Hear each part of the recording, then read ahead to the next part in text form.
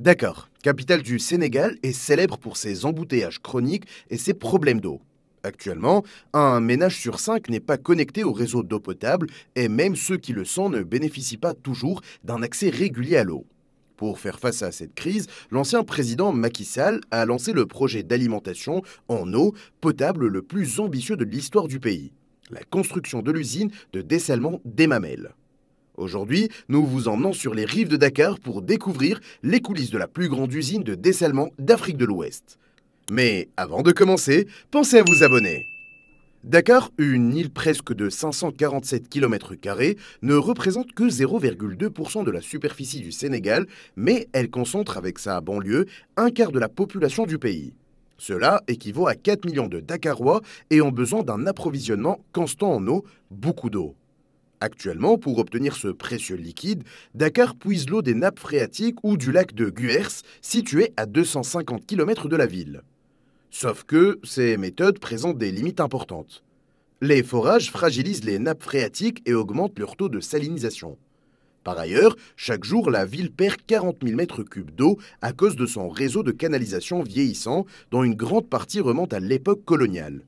Bien que le gouvernement sénégalais ait inauguré une troisième station de traitement des eaux à Keur-Momarsar, les problèmes persistent.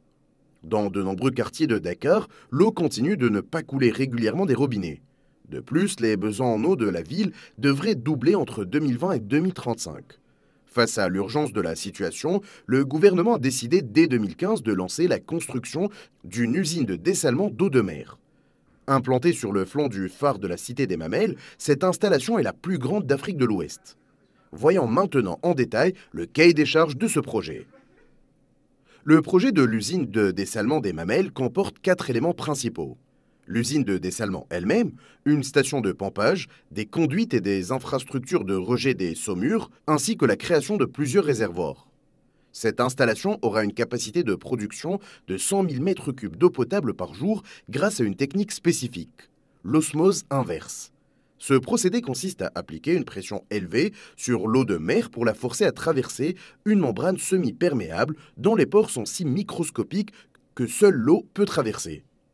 À la fin de ce processus, une partie de l'eau est déminéralisée, c'est-à-dire qu'elle ne contient presque exclusivement que de l'hydrogène et de l'oxygène. Les ions, sels, bactéries et virus restent piégés de l'autre côté de la membrane, formant une saumure hautement concentrée. Parmi les méthodes de filtration de l'eau de mer, l'osmose inverse est la moins énergivore. Mais elle présente des inconvénients majeurs, ce qui explique en grande partie la réticence de certains Dakarois face au projet. En parallèle, le projet prévoit la pose ou la réhabilitation de 460 km de conduites d'eau de diamètre allant de 90 à 1000 mm dans la région de Dakar. Un million de personnes bénéficieront de l'eau produite par cette usine et pourront s'en abreuver. Pour réaliser cet ambitieux projet, l'État du Sénégal a confié sa construction à Eiffage. Le constructeur français est chargé de concevoir et de bâtir l'usine en 30 mois, puis d'en assurer l'exploitation pendant 24 mois avant de la remettre aux autorités sénégalaises. Ce n'est pas la première usine de dessalement qu'Eiffage construit en Afrique subsaharienne. Le groupe a déjà démontré son savoir-faire en 2021 avec l'usine de dessalement de Doralé à Djibouti. Plusieurs autres grandes entreprises du génie civil participent à ce projet. Toyota Tsusho Corporation, société japonaise, copilote le projet avec Eiffage. Sinohydro Corporation, entreprise chinoise, est en charge de la pose des 460 km de conduite d'eau.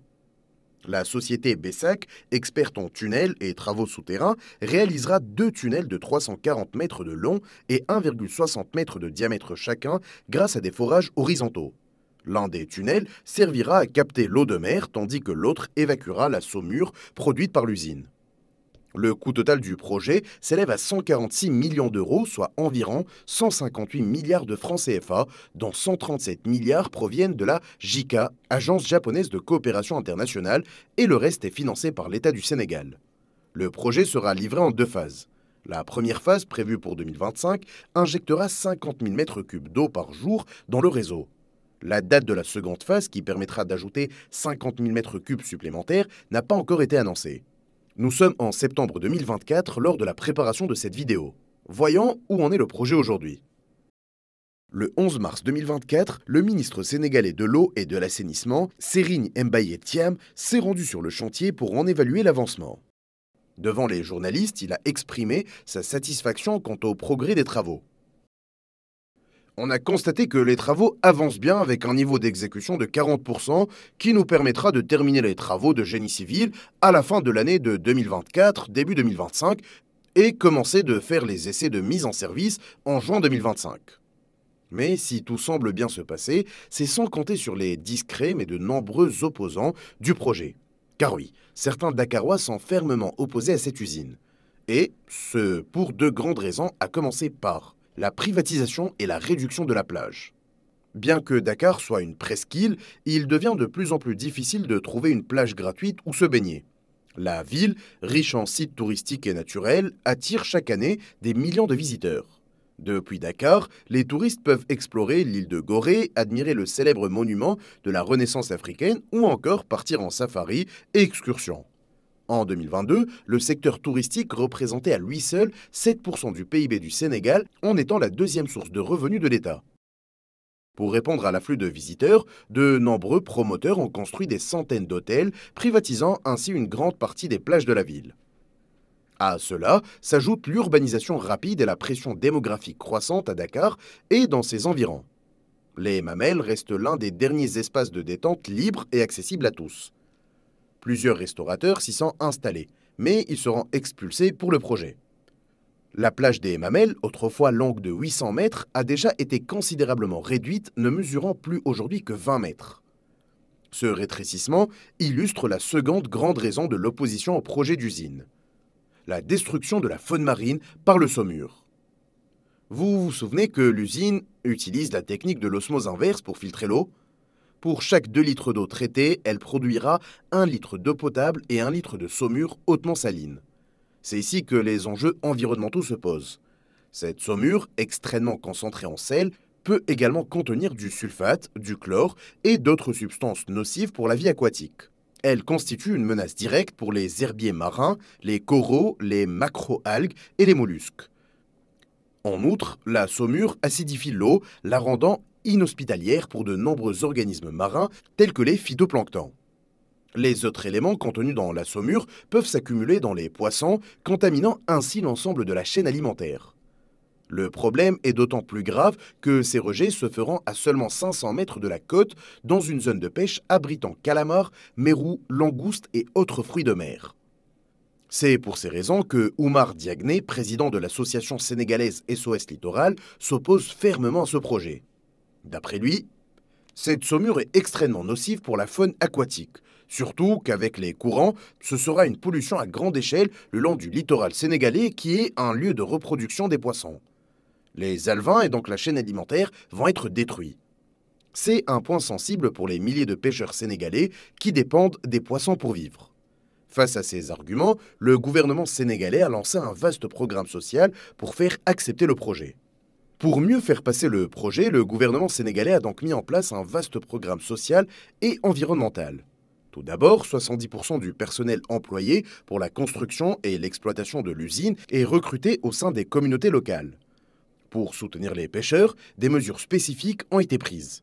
Le gouvernement a facilité le stockage des produits de la pêche en mettant à disposition 15 camions frigorifiques ainsi qu'une usine de fabrication de glace. Concernant les usagers de la plage, l'État a promis une réouverture gratuite et accessible à tous.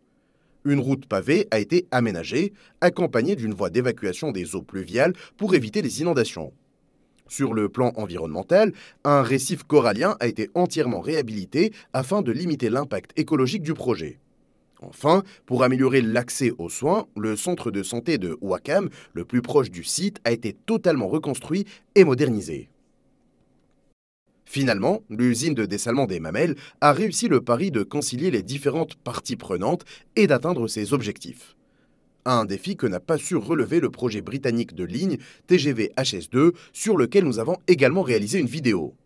Si vous souhaitez découvrir un autre projet littoral qui transformera le quotidien de ses utilisateurs, n'hésitez pas à regarder notre vidéo sur la route la plus chère du monde. Si vous avez aimé cette vidéo, abonnez-vous à notre chaîne et laissez un like.